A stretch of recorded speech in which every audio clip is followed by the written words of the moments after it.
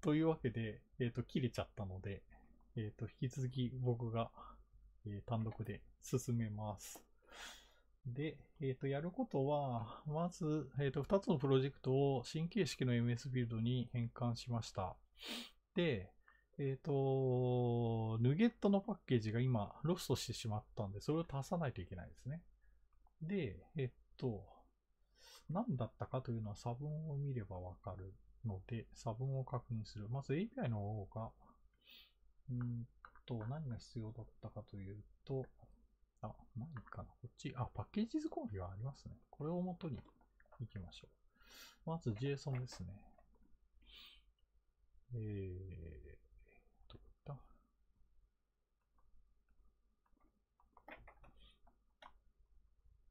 た？はい。まあ、もうサクッと言います。で、次に、もう一個が、あ、閉じなきゃよかったですね。アイデンティティクライアント。これはちょっと使い慣れてないので、4.13.0か。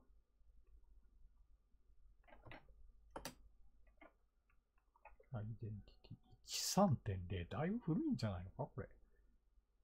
まあ、一応合わせておきますか。まあ、JSON の方は大丈夫だと思うけど、こいつが依存してたらわかんないですけどね。たして。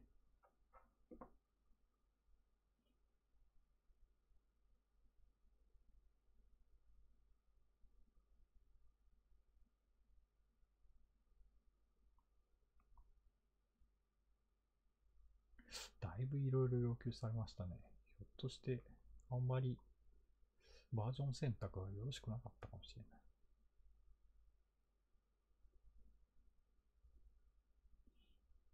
まあ、通りさえすればいいとは思うんですけどね。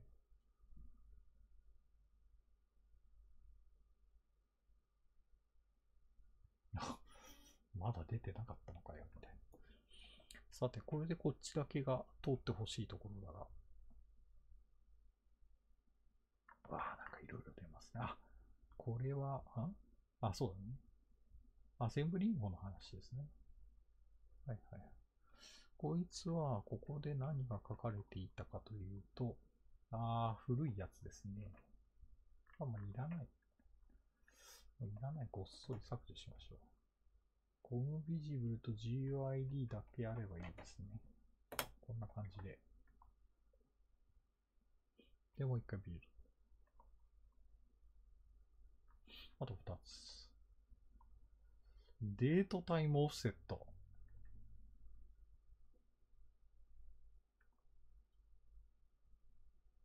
あ、はい。どういうことですか？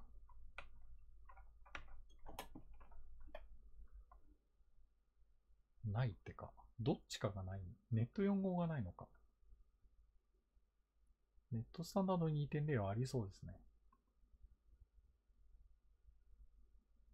そうですね。ネット4号は not available になってますね。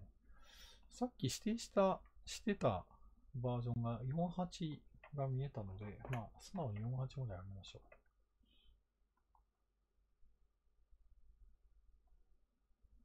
で、ビルド。うん、通りましたね。まず API の方は OK ですと。で、次に、えっ、と、こっちからプロジェクト参照が失われてしまったので、えっ、と、そいつを追加します。えー、プロジェクトリファレンス。API への参照を追加します。で、この状態で、あと、あ、忘れてました。このパッケージズコンフィがもはや不要なので削除しておきます。で、えっ、と、 packages config、えー見ると2つありますね。 Material Design Colors と Themes。よくわからんけど、使ったことはないです。えー、ので追加していきます。これか。ああ。バージョンいくつだった？カラーズは1.2.5ですね。一応合わせておきますか。5。い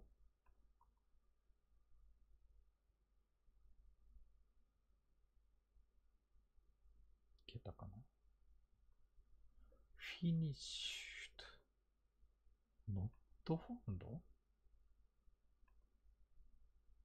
あ、これ、あ、すいません。あの、これはあの、僕のプライベートのマイゲットのリポジトを見たけどなかったって話ですね。問題ないですね。ただ、あ、これついてましたね。あの、ネットフレームワーク4号になってるので、えっ、ー、と、こいつ48上げたので、こっちも上げないといけないですね。先に上げておきます。48。で、もう一つ、えっ、ー、と、参照を追加しなければいけなくて、えっ、ー、と、今のこれって、あれでも追加されなかったか？エラーだったのかな？ちょっと待ってよ。もう一回やっておきます。1、2、あ間違えた。違う違う。1、2、5。あー、ドットエンドフレームワークのバージョンミスマッチでインストールできなかったかな？これでできたかな？あ、通りましたね。じゃあもう一つ、えっ、と、マテリアルデザインテーマズ、えー、312ですね。あ、しまった。これですね。あ。312。312。これですね。これインストール。入れます。はい。これでビルド通ったかなで、あとこっちですね。うん、一応通った感じがしますね。あ、なんか選んで、あ、あれかなまた。そうですね。えー、っと、アセンブリーンフォですね。これか。こっから、この辺のやつを削除します。バージョンも削除します。まあ、あとはもう一つありそうだけど、一旦ビルドします。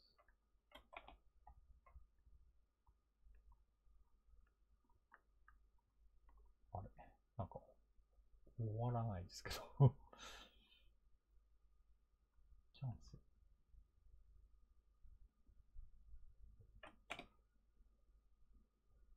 止まった。何だったんだろう。なんか、えらい時間かかった。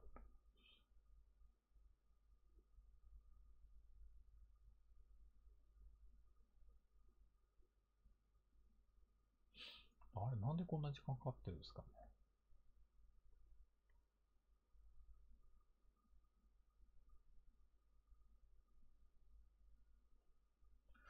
テスエクスプローラーがなんかやってんのかな？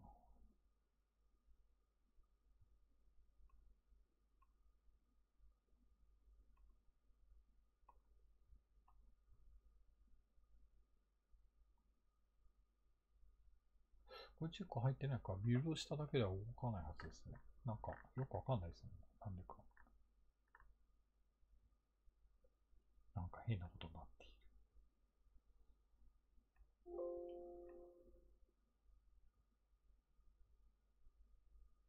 あれかな。ウーブンツに移行するだとか、ライダー使うとか言い始めたから済んでたかな。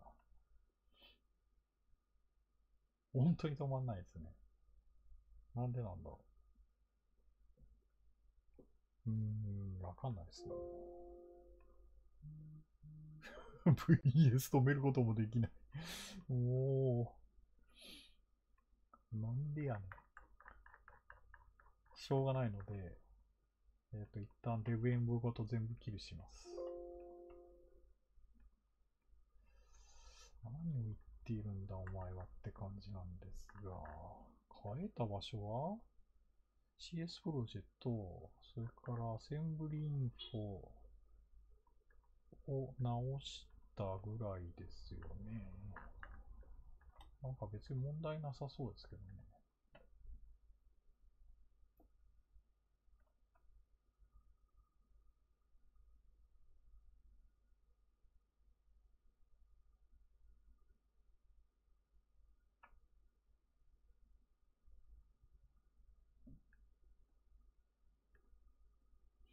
良いかな？良いかな？で、ビルド。あ、通りましたね。なんだ、なんだったの？今の。えっと、システムドローイング。あー、それは、あれでも依存関係から自動的に使われるような気もしなくもないが。自分で入れないといけないかな。差分がどうなってたかですね。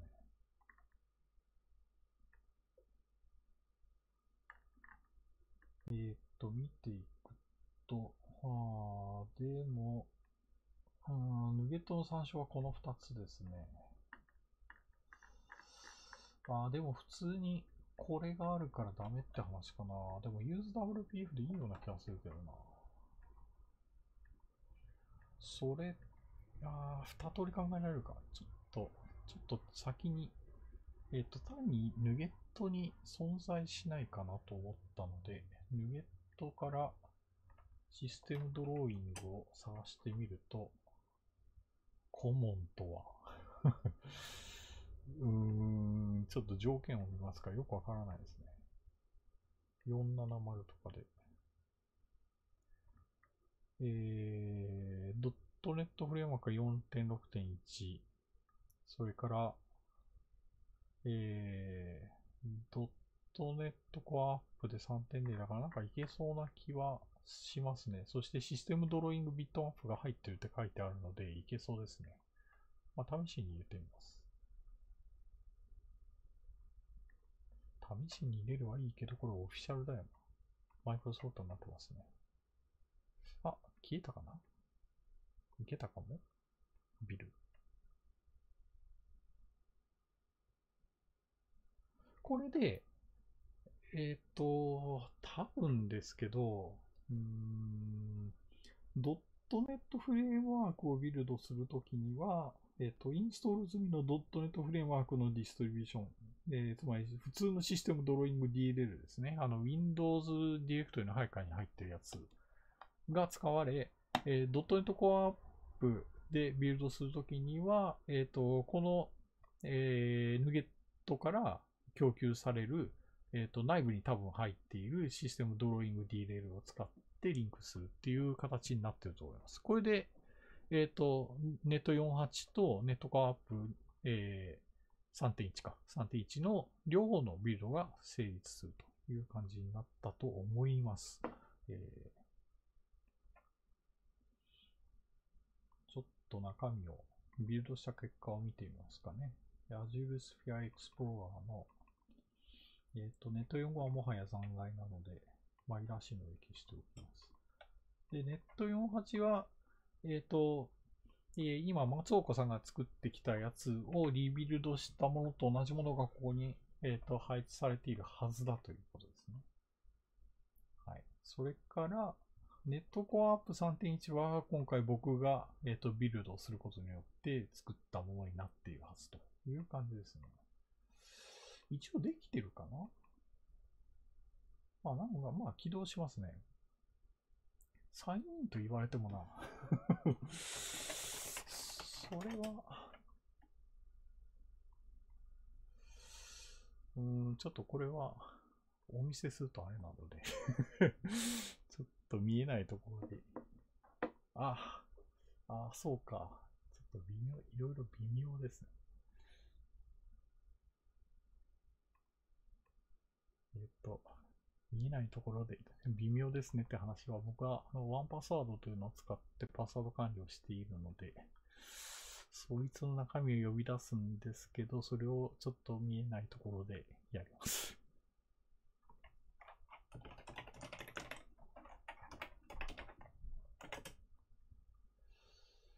えーっと、MS。う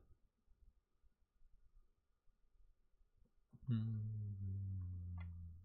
こにょおや。ちらっと何かの表紙見えたりしたら怖いな。まあ、2FA 要求されるんであれですけど。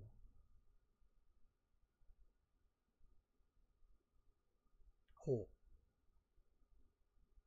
ああ、Azure Sphere のテナントはないとか言われてます。まあ、まあダメですね。ちょっといろいろあの、スフィアが実行できる状況になってないとダメですね。実行できる状況にあるはずだが、ちょっと あ、アカウント変えなきゃいけないのかな。ちょっとね、あの、ロゴの条件がわかんないので、あの、松岡さんに聞いてみないとわかんないので、これは、えっ、ー、と、えー、ちょっともう一つ、えっ、と、実際にもう一つ、こっちですね。えっ、と、あ、こっちじゃない。えっ、と、ネットコアアップ3.1のビルドが、とりあえず起動確認だけしてみて、これですね。これ起動。あ、動くじゃないですか。あ、これなんか、こう動きがちょっと違いますね。なんか、いきなりブラウザーが、あの、立ち上がってきました。さっきみたいな、あの、専用の、あの、ブラウザウィンドウではなくて、Chrome が立ち上がってきて、ここで、こう、アクセスを要求されてます。ちょっとこの後の挙動がわかんないんで、これも残念ですが、閉じて終了ってことにします。とりあえず、起動はできたので、まあ、いけるかもしれないね、みたいな話ですね。まあ、あとは、えっ、ー、と、松岡さんに、あの、検証してもらいましょうか というわけで、今、サクッと、えっ、ー、と、.NET Core 3.1に、えー、WPF のアプリを移植してみました。まあ、慣れるとこんな感じで、あの、まあもちろん、あの、アプリケーションがかなり特殊なライブラリとか使ってると移植とか、あの、もっと真面目に考えないといけないんですけど、今みたいに、基本なんか .NET フレームワークとかに、あの、あの、基本ライブラリにしか依存してないとか、なんかそういうようなものであれば、こんな感じで簡単に移植できますよという、あの、ライブでもあの、もうちょっと今、パッと思いついてやったんですけど、まあできますよね、みたいな感じですね。まあこれを参考に、あの、自分も、あの古いアプリケーション持ってて、試しにやってみようかなっていう人がいたら、試してみてください。ちなみに、えっ、ー、と、Windows フォームの場合は、えっ、ー、と、UseWPF ではなくて、UseWinForms だったかな？っていうのを追加することと、まあ WPF もそうですけど、ここ、これですね。ここの2つが重要になるので、まあ、この2つを忘れないように、えー、定義してください。あの、CS プロジェが、この見ての通り、こんな風に非常に簡単になるのでおすすめです。ああと、あれですね、あのー、なんだ、えっ、ー、と、プロパティーズ配下のアセンブリインフォですね。から、えっ、ー、と、あの不要な属性を除去除去する、削除する。っていう感じでいけるようになると思います。じゃあ、これを、えー、っと、ああ、今、あれですね、フォークしてないからいかんですね。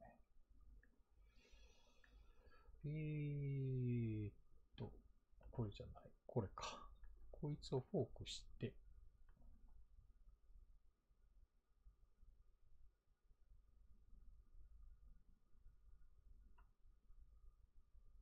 はい、フォークしました。で、えっと、自分の方のリポジトリをリモートに追加し、うん、あ、オリジンじゃない。あ名前変え、あそうか。どうしよう。どうしよう。リムービュー。1、アイリット。オリジンじゃなくて、ちょっ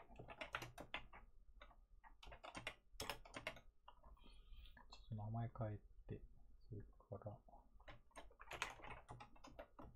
オリジンを自分に変えて、こんな感じにして、で、ブランチは切ってあるので、ああと、いらない packages config をもう一個削除しないといけないですね。なので、えー、それはこれです。この packages config を削除しておきます。これだけですね。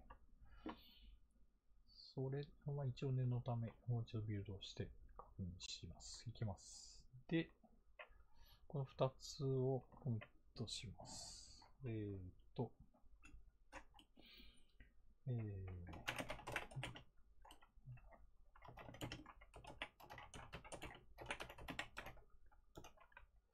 なんかこのフォーマットの形式の名前を随分謎で、僕は MS ビルドの新しい形式とか呼んでたんですけど、そういえば、なんだったっけな ?NewSDK フォーマットだったかな？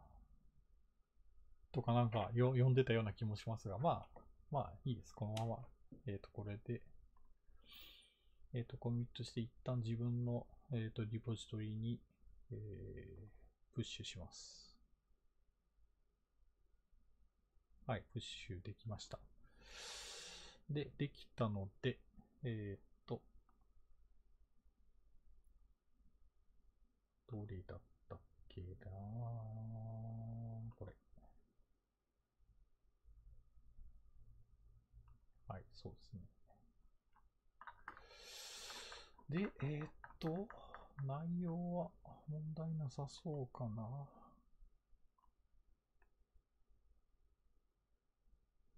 はい、はい、はい。良さそうな感じはしますね。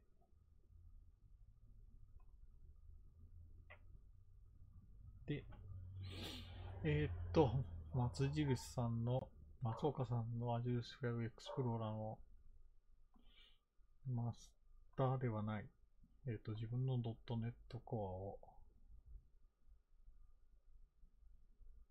えー、プルリークしますと。こんな感じでいいかな。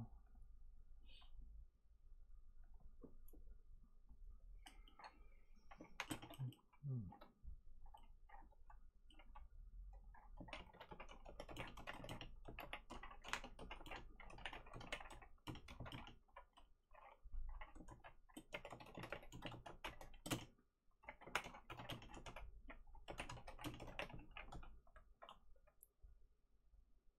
はい。で、内容は、まあ見ると、こんな感じにシンプルになり、ターゲットフレームワークはネット48とコアアップ3.1。これは書いておきますかね。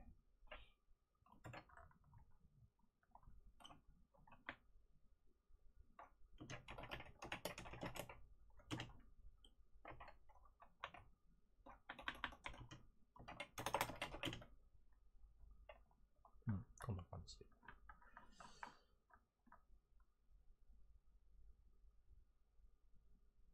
で、えっ、と、この3つのパッケージを、えー、参照に加えました。プロジェクトリファレンスを追加しました。それから、あ、これリソースになってますね。うーん。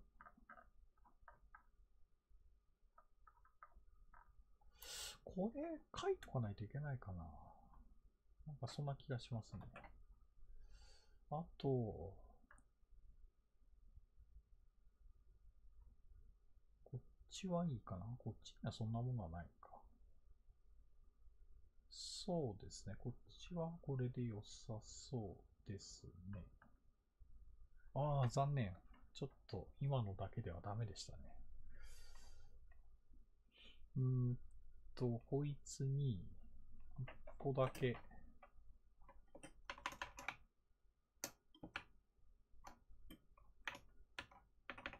こんな感じかな。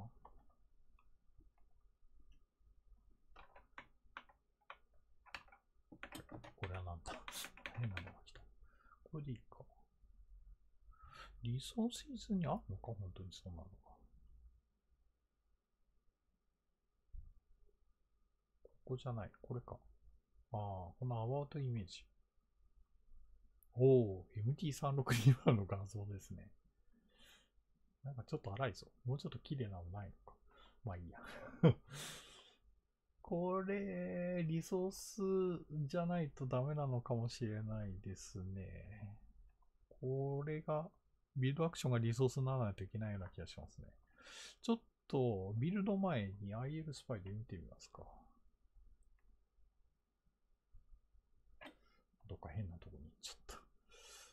えー、どこにいんのあなた。あ、来た来た。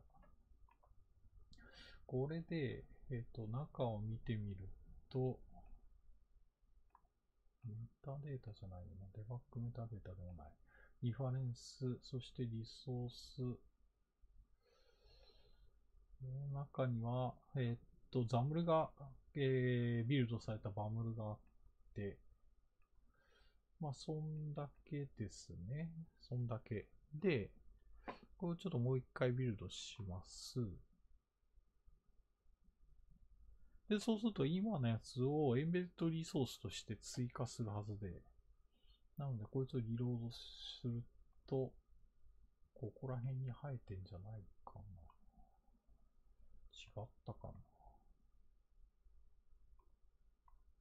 リファレンス、バムル、バムル、バムル、バムル、バムル、リソーシーズ。あ、これかな？アバウトイメージ。ああ、なんか、ちゃんと増えたのかどうかよくわからないまま、なんか、一応入ってることだけは確認できましたね。アバウトイメージってことは起動して、アバウトダイアログとか表示すれば出るんかな？ちょっと試してみますか。うーんと、ビルドはしたので、まあ、ネット48で起動して、これ出るけど無視して、あ、終わっちゃった。終わっちゃったよ。こっちは、あ、そうそう、これが出るので、これはちょっと無視して、で、あ、触れますね。本当は触れちゃいけないのかもしれないですね。あ、あ、落ちた。マジですか。じゃあデバッグしないといけないな。えー、じゃあどうすればいいかなここでターゲットアーキテクチャをネットコアップ3.1にします。そして、えっ、と、デバッグを開始する。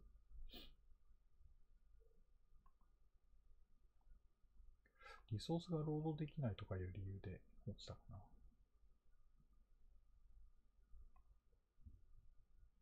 二つ理由が考えられますね。えっ、ー、と、あのリソースの、えっ、ー、と、タグで囲ったイメージの配置方法はもう間違っているって可能性と、もう一つはネットコアアップ3.1に限り、えっ、ー、と、何か、何か固有の問題が発生しているか。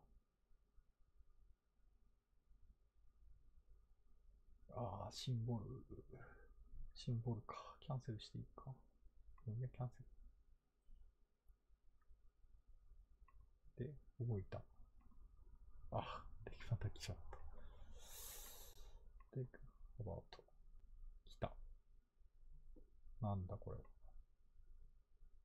アセンブリカスタムアトリビュートで、コピーライトアトリビュート取り出して失敗してる？ついてなかったっけ？あ、っていうのは、あの、えっ、と、アセンブリインフォは削除したんですけど、えっ、と、ドットネあの、新形式の MS ビルドでは自動的に適用されるはずなんですが、もしかして、どれだ？あ、ここにあるか。アセンブリコピーライトってないですね。そういうこと？そうだっけ？まあ、細かいことまで覚えてないです 正直えー、タイトルは取れてますね。コピーライトと、あとは Assembly Informational Version が要求されていて、 Assembly Informational Version がありますね。あコピーライトがないのか。で、あの、属性で追加する、すればももちろん復元できて、この場合はちょ、あのちょ、もうそもそもその、ドットネットコアのその MS ビルドから定義、自動的に定義されるものはないので、多分それでもいいとは思うんですが、えっと、えー、新しい MS ビルドではそ、その新しい方式の流儀というものがあって、それはあの、えっと、アセンブリインフォに属性で書くんじゃなくて、CS プロジェの中に書くっていう感じですね。で、そもそも何が書かれていたのかを確認するわけですが、えー、これかな。あ、違うわ。アセンブリインフォ。何々？コピーライトで、松印と。ああ、このコピーライトは大事ですね。削除しちゃいけませんね。じゃあ、えっ、ー、と、じゃあですよ。うーんと、具体的にどうやって書くかだったんですが、それはね、僕が自分で自動的にバージョニングをする便利なパッケージがあって、本当はもうこれを入れて終わりにしたいんですけど まあちょっとさすがにあれなので、えー、どれだったっけ？これになんか参考になるというか、コードがあったようなはず、あ、あったはず。あテストプロジェクト見ればいいかな。C シャープニューテスト。コピーライトですね。こういう感じですね。こういうふうに書けば、CS プロジェクトの中に書けば、そうすればそれが反映されるはずです。なので、えっと、ここに、コピーライトタグを追加して、えっ、と、元の属性ベースで書かれていた、えっ、と、これを追加しておきます。で、一応これを、えっ、と、WPF のプロジェクトだけじゃなくて、こっちの、えー汎用ライブラリの方にも適用しておくと。こういう感じですね。これで、えービルドします。はい。で、あ、まあ、これ見てもしょうがないか。えあ、いいんじゃないかな。一回リロードすると、増えてますね。アセンブリコピーライト。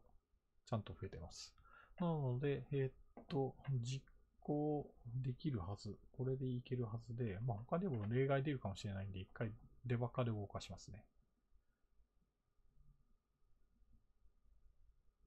あ、また、またやってんのか。はい。出ましたと。で、こいつはガン無視。で、アバウト。あ、いけましたね。で、画像も表示されてるから OK と。いいですね。ちょっとネット48の方は逆にあの、モーダルダイアログをキャンセルするとそのまま終了してしまうので検証できないので、まあそこは、えっ、と、松岡さんにお任せすることにしましょう。ということで、えっ、と、こいつは改めて出し直すことにするんですが、えっ、と、もうめんどくさいんで、えっ、と、アメンドで、えっ、と、プッシュし直して、はい。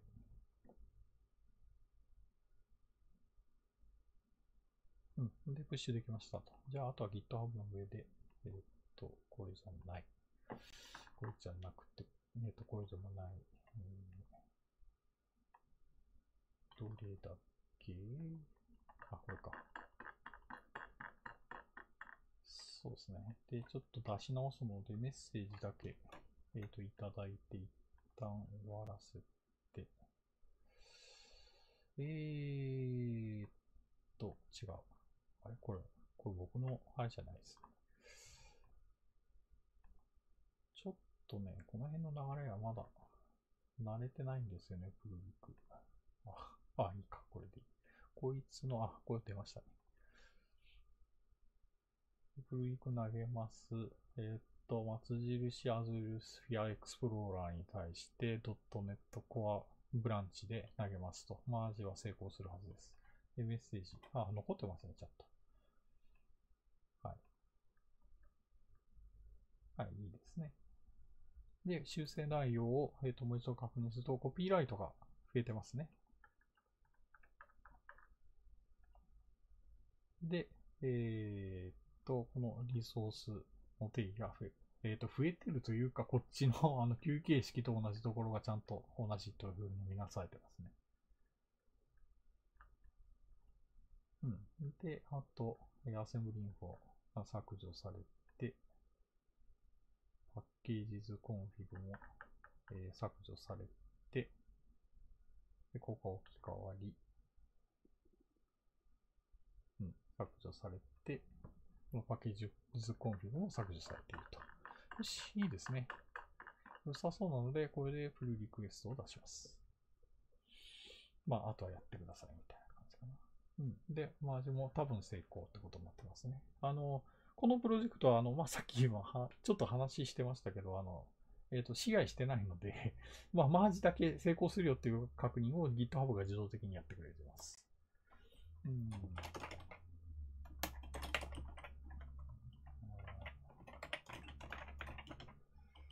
ボスアーキテクチュア。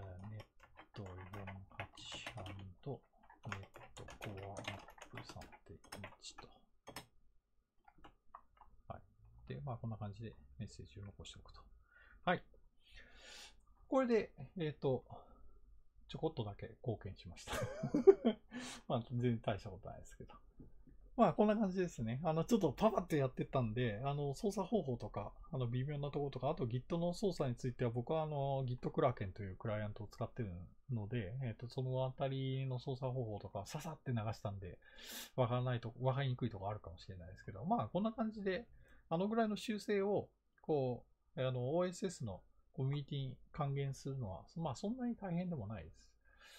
まあ大変なのはね、大規模なあの OSS のプロジェクトに対して差分を投げるときはね、やっぱりなんかいろいろ気にしたりしますよね。なんか他の機能に、機能とか、例えば他のプラットフォームに影響ないかとか、ちょっと思っちゃったりするんですけど、まあ、こんな感じでね、あの皆さん、あの、ちょっとややってみていいあの改良なんじゃないの？って思ったら、あの、ぜひ、あのこう、OSS に対して投げてみてください。